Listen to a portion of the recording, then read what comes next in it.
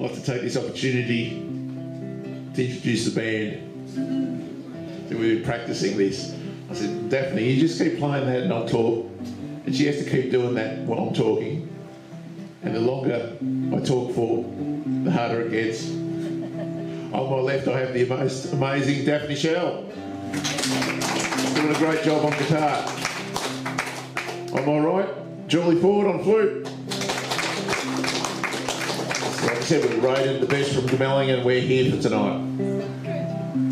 Uh, this is another O'Callaghan tune called Carolan's Fancy.